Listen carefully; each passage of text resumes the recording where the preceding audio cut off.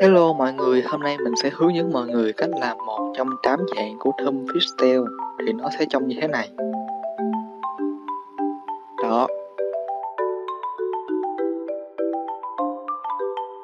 Đầu tiên là mình muốn nói về tên của trick này trước thì mình đã học trick này trên kênh của Ian Johnson.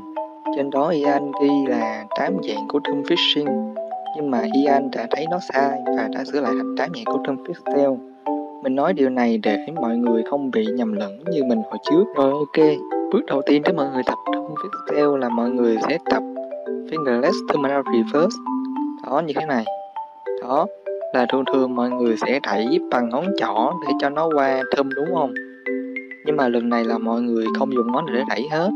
Mọi người chỉ sử dụng lực tay để đẩy thôi. Đó. Đó. Rồi, tiếp theo là mọi người sẽ tập ngửa bàn tay lên và thum mà ra reverse qua. Đó. Đó. Đó. Rồi bước thứ hai để làm thum fixtail á là mọi người thay vì làm TA reverse thì mọi người sẽ dùng lực nhẹ hơn để đẩy bút cho nó đi nửa vòng thôi như thế này. Đó. Đó. Đó trick này tương đối là khó, cho nên mọi người nên tập luyện nhiều để quen tay dần.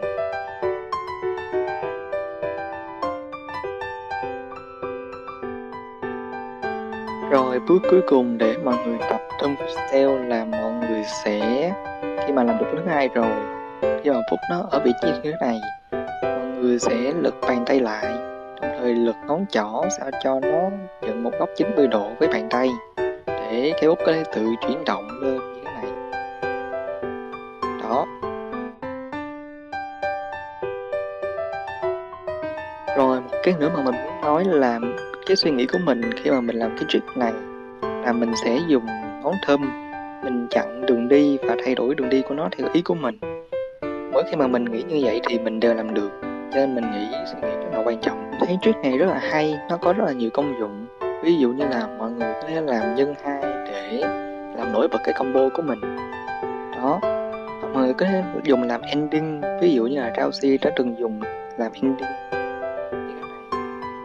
Đó. Cảm ơn mọi người đã xem hết video này của mình. Nếu mọi người thấy hay thì hãy like, share, subscribe cho kênh của anh Nico và các kênh của mình Để mình có thêm động lực làm những video tiếp theo cho mọi người. Bye.